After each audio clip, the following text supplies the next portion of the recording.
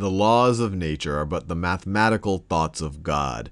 And this is a quote by Euclid of Alexandria, who was a Greek mathematician and philosopher who lived about 300 years before Christ. And the reason why I include this quote is because Euclid is considered to be the father the father of geometry. And it is a neat quote, regardless of your views of God, whether or not God exists or the nature of God. It says something very fundamental about nature. The laws of nature are but the mathematical thoughts of God, that math underpins all of the laws of nature. And the word geometry itself has Greek roots. Geo comes from Greek for earth. Metry comes from Greek for measurement. You're probably used to something like the metric system. And Euclid is considered to be the father of geometry, not because he was the first person who studied geometry. You could imagine the very first humans might have studied geometry. They might have looked at two twigs on the ground that looked something like that, and they might have looked at another pair of twigs that looked like that and said, This is a bigger opening. What is the relationship here? Or they might have looked at a tree.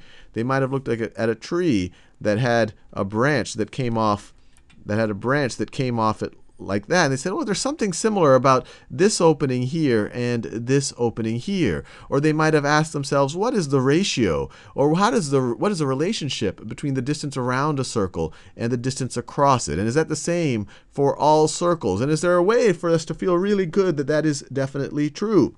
And then once you got to the early Greeks, they started to get even more more thoughtful essentially about geometric things when you talk about, you know, Greek mathematicians like like Pythagoras. But why who came before Euclid? But why the reason why Euclid is considered to be the father of geometry and why we often talk about Euclidean geometry is around 300 BC and this right over here is a picture of Euclid painted by Raphael. And no one really knows what Euclid looked like even when he was born or when he died. So this is just Raphael's impression of when uh, you, what Euclid might have looked like while he was teaching in Alexandria. But what made Euclid the father of geometry is really his his writing of Euclid's Elements. And what the elements were were a 13 volumes of a, essentially a 13 volume textbook and arguably the most famous textbook of all time.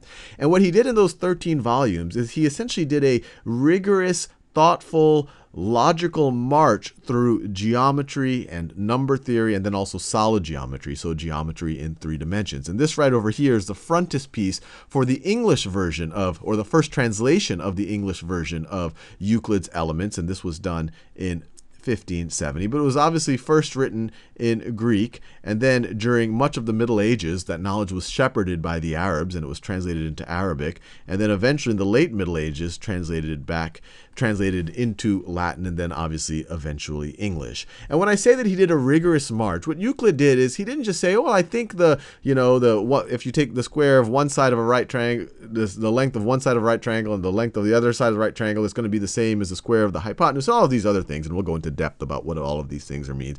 He says, "I don't want to just feel good that it's probably true. I want to prove to myself that it is true." And so, what he did in Elements, especially the six books that are concerned with planar geometry, in fact, he did all of them, but from a geometrical point of view, he started with basic assumptions.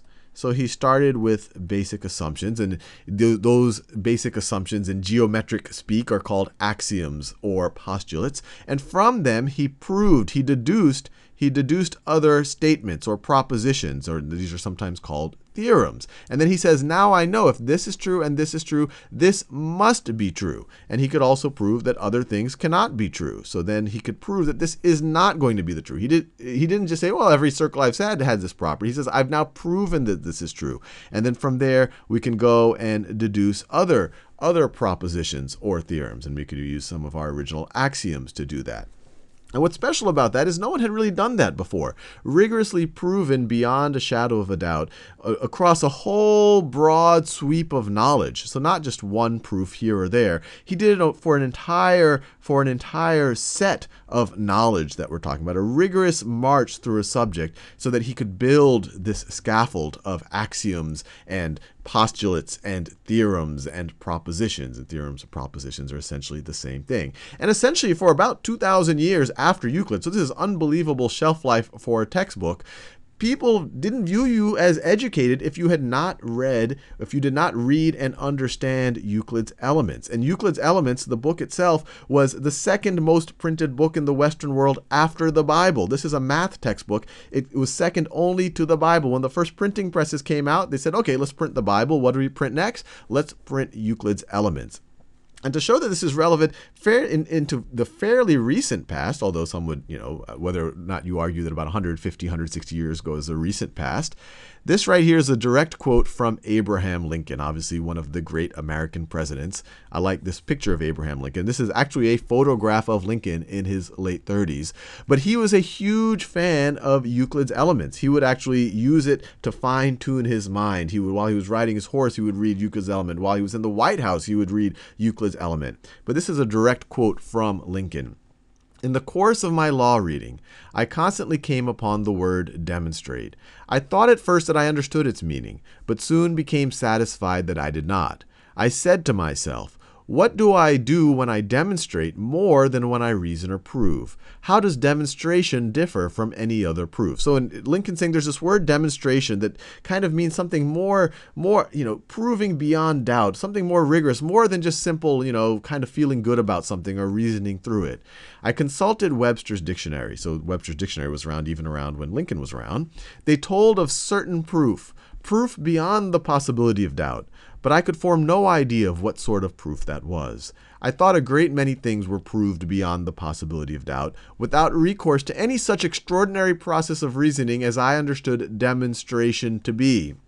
I consulted all the dictionaries and books of reference I could find, but with no better results. You might as well have defined blue to a, to a blind man.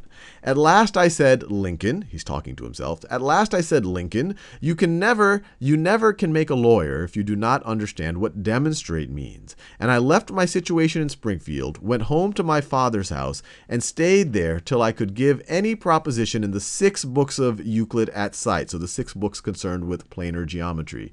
I then found out what demonstrate means and went back to my law study. So one of the greatest American presidents of all time felt that in order to be a great lawyer, he had to understand, he give any, be able to prove any proposition in the sixth book of in the six books of Euclid's Elements at sight, and and also once he was in the White House, he continued to do this to make him, in, in his mind, to fine tune his mind to become a great president.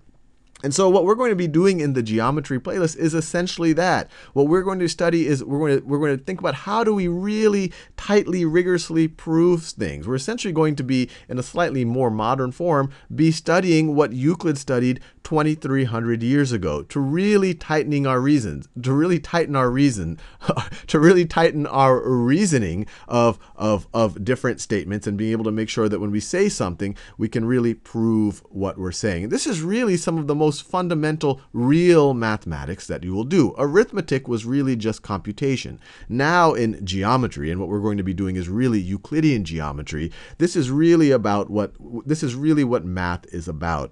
Making some assumptions and then deducing other things from those assumptions.